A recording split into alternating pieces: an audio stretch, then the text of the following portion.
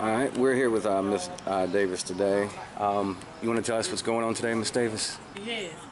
Um, we're here today um, to uh, have a peaceful protest for my son Dominique Xavier Towns. Um, in June, my son went missing June 25th. He was missing from June the 25th to June 30th. Um, the protest is because um, that we didn't have any uh, Fort Valley PD out looking for my son. Um, we had the neg- um, actually have a complaint against them for neglect and misconduct. Um, they neglect to get out and search for my son for those five days. Um, my son had to be cremated because of that. Um, being out in 90 degree weather and out in. Um, and I'm sure, you know, um, other things were getting in, the car and, you know, affected his body. So I had to have him cremated. And the misconduct is because we have audio saying that they were not going out to um, find him. They was not going to search for him until that next Wednesday, Tuesday or Wednesday of that next week. So we also have audio of them, you know, making fun of him, making jokes, saying that he was gay. Um, his phone was pinged in Macon, Georgia, but he was found on 96. Uh, so we, that's another complaint that we have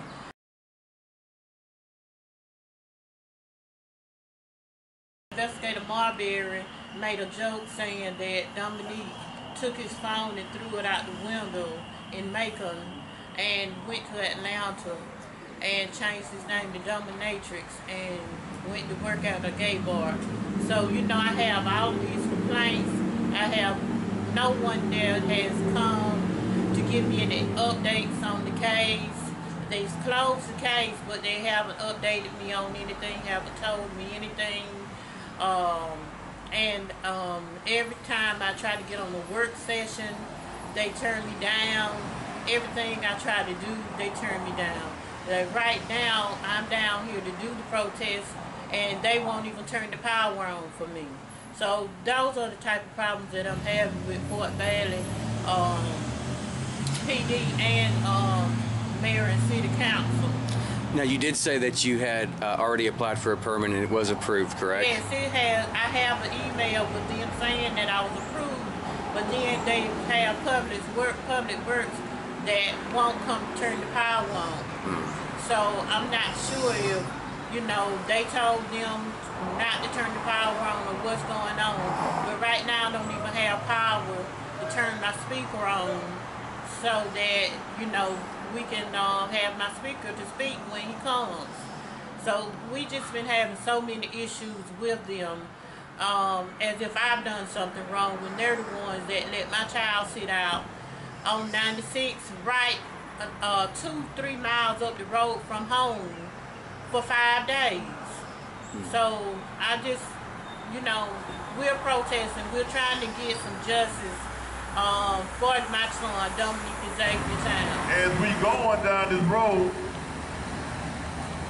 uh, we got something called the First Amendment. We got the right to peaceful protest, and uh, they keep telling us we ain't got that right. So we want them to keep uh, making their mistakes and tripping on their own feet. Now, when we talked on the phone, um, you mentioned something about the 911 calls. Can you elaborate a little bit on that after this truck goes by?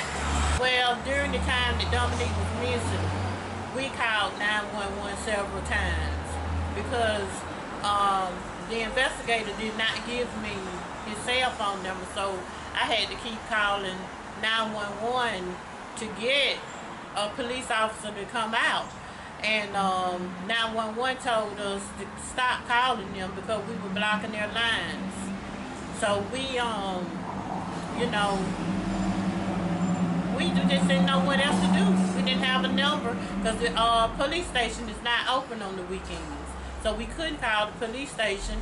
And Corey Marbury, the investigator, did not give me his personal cell phone number. So you're saying that um, that the police department's closed on the weekends, and the only way that you could get in touch with an officer was by calling 911. That was the only way that I can get in touch. because they didn't give you a phone number either. Yes, Right. the only Corey didn't give me um, his phone number until that Sunday that he invest that he um interviewed me, and he didn't even have a card to give me or anything. Uh, Willie Marshall was the detective that was there with um, Corey Marbury at the time. Those were the two. The, um, Corey Marbury, uh, uh, Chief Spurgeon and uh, Investigator Corey Marbury and Willie, Detective Willie Marshall are the ones that were on the audio and the ones that were talking about my son and uh, making jokes.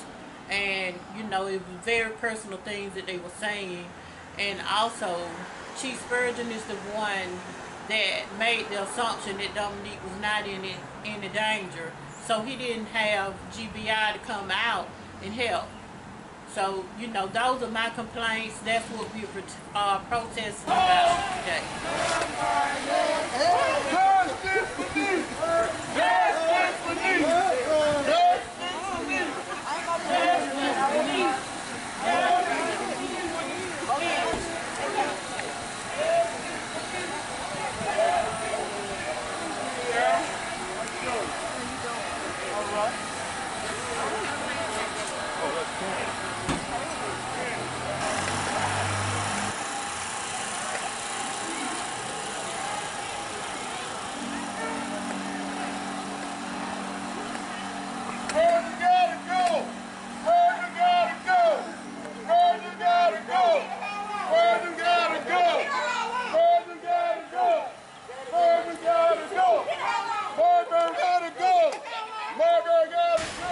Also said too when we talked on the phone that you know you know your son very well, and he had borrowed your car that day, and he didn't contact you that day, and you just knew something was wrong. That's something out of character to him.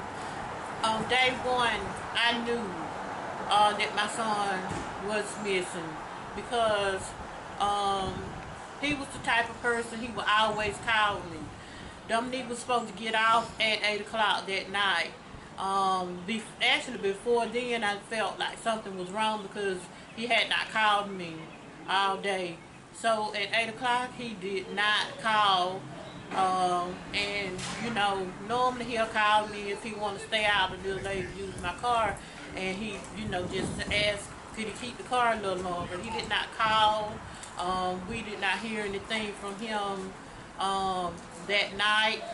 I hadn't heard anything from my son since he left home, left home to go to work that day, and that was between 1:30 and 1:40. He was supposed to be to work at New Way on Russell Parkway in Warner Robins. So I'm just, you know, I haven't seen my child face since he left home that day. I'm sorry. I know that's hard. I know that's hard. Is there anything um, to the viewers that you would like to um, to share to them, or a specific message you want to get across to them, um, either about your son or about the police department, and how can they help you out? Well, I'm coming to the community to ask them to come with me. I formed an um, organization called Tribe Strong, and my purpose is to let people know um, that sometimes you have to, you know, just do my purpose is just to let people know that when um, someone is missing, you know, you can't depend on Fort Valley PD. Um, you're gonna have to get out on your own and and you know search yourself. We didn't have any help at all. So as Child Strong, what I'm trying to do is, if we have anyone that's in Fort Valley that's in a bad position, try to call me or someone that's in my organization. We will get out and we will help. That's my purpose for Child Strong. Do you have a uh, website or um, an email for Tribe Strong? I have actually right now I'm making a um I have an email which is dxt tribe S T R O N G at gmail.com. And also, I'm making a YouTube channel, putting all our protest videos on it and all our pictures and everything like that. Do you currently have a YouTube channel set up for that yet? Yes, When I have a YouTube. And what's the name of that? Um, it's just gonna be under um, Dominique Xavier Towns. So that's where you can find all the pictures of the protest and all our pictures of the balloon releases and his celebration of life. I'm gonna give y'all an update on what, what's been been going through since last time that uh, we've been up here. Everybody know that they have a Zoom meeting once or twice every week. And they've been shutting us down in the meeting ever since we've been going to the meeting. Uh, the mayor, city administrator, uh, won't let us speak. They shut us down every time. But we still standing strong, pride strong. So, uh, thing is, they got something called public record. Anytime that y'all want to go see anything that goes on downtown, your First Amendment is we can go to the public records and find out what's going on. agrees with something she said. We don't know what happened to Dominic Town. We know what they told us happened to Dominic Town. It's too inconclusive. Ask yourself a question. If you know for certain that it was an accident, how fast was he, was he going? What caused the accident? There's a difference between reactive and proactive. Reactive means you call the police, they're gonna show up. They're gonna answer to you for whatever you call, they're gonna try to get some answers to your concern.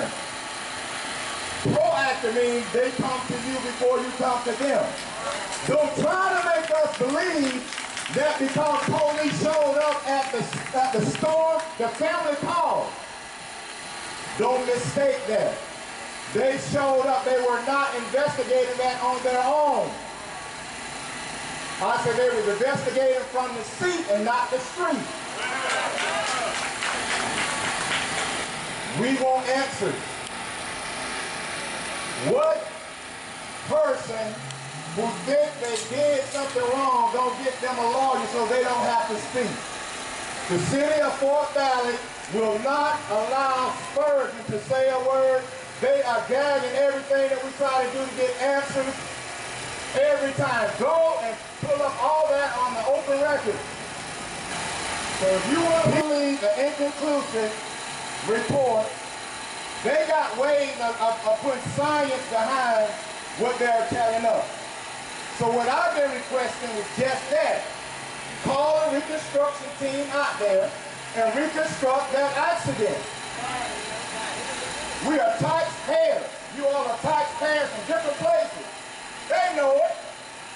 They don't want to know the truth. They can't handle the truth because the head of the department came on record and said they didn't think Dominique Town was missing. He went on Facebook and said that they was hoping that he wasn't found so they can, they can have something to support that theory. So if you all think that this is just another way of gathering, think that this is just another way of just coming together on a Saturday,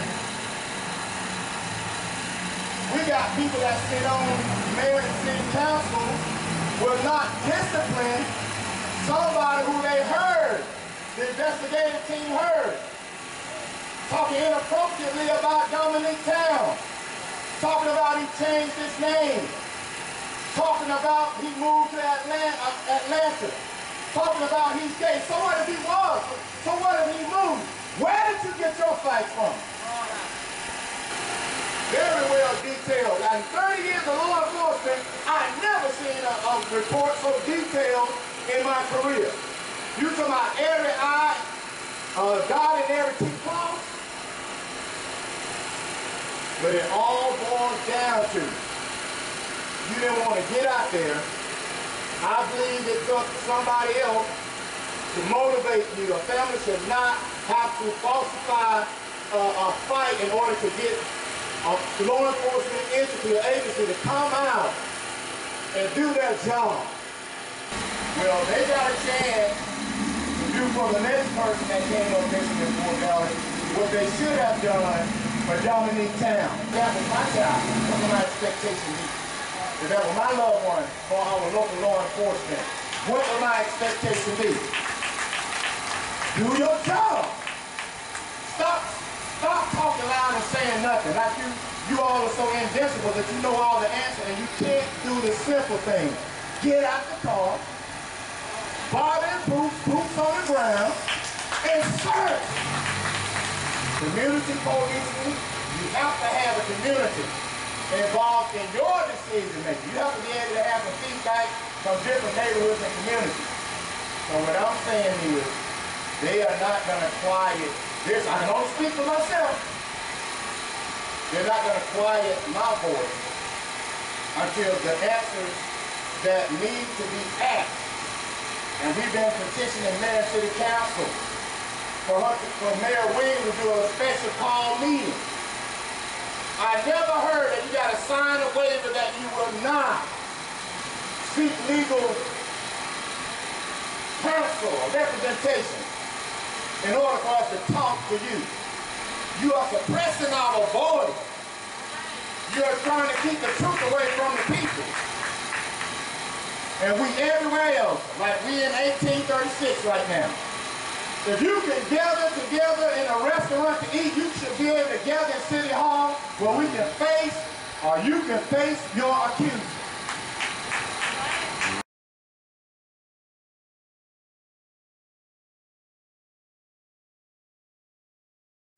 Where she at? She better not come over here. Where, where at? next to my car. I bet you she better not. I bet you she better not come over here. Let me uh, get this video real want quick. you huh? to. Cause she better not bother me. I am not in the mood today. So this is the mayor of Fort Valley here.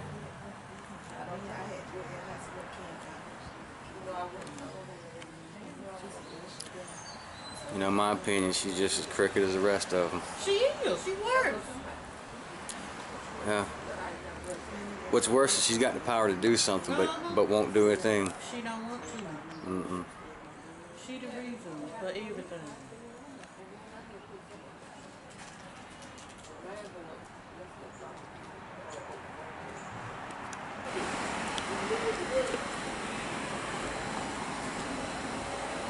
That's the mayor there. Good morning. We ask you all to your please. God, we coming to you again, giving thanks for you blessing us one more day. We come together, Lord, for a common cause, Lord.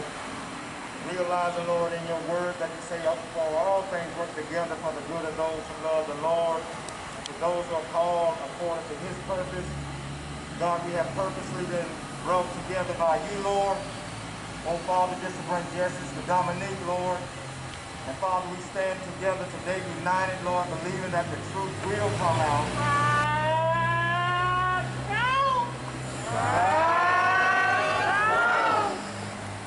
Like I said, you all on fire. As long as I got breath in my lungs, I'm gonna fight for mine. I'm gonna lay it down for mine. I don't know about you, but if you got a child, who won't lay it down?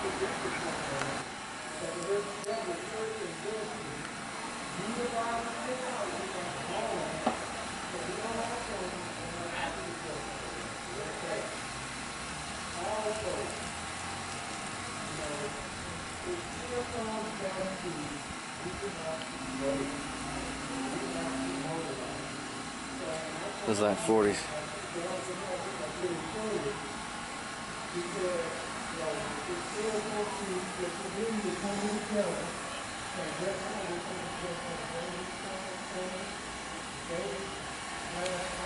Clearly see the divide in the line. City employees on one side, the community coming together on the other side.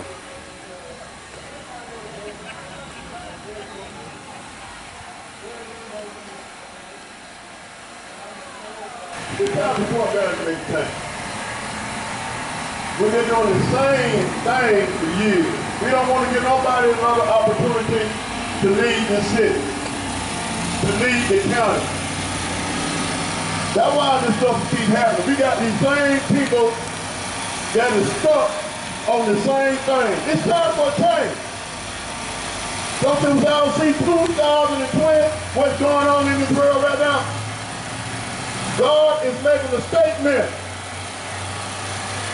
When President Trump caught that coronavirus, that was another statement that God made. You ain't nobody no bigger than him. So y'all need to wake up. The few, the pride, like he told his group, stand by, stand by. Pride strong, stand by, stand by. As a people, we can be stronger as we want to be. And if anybody see what my sister been saying on Facebook for the last three months, and not see what's going on, hear what's going on, we need to change. Vince is running for sheriff. Y'all get out and vote. I'm not campaigning, I'm not talking about anybody, but y'all need to listen to what he's saying. We need a change to what he's telling you now, what he can do for y'all, what he can do for this county. Oh, we're saying that this happened to Dominique. We can also fight by voting for the people that don't need, I mean, that needs to be in office and not voting for the people that's in office. So we need to get on our march, march down to vote. Everybody grab a friend, take a car forward, and vote these people out of office that did wrong. So that's what we need to do. We need to vote.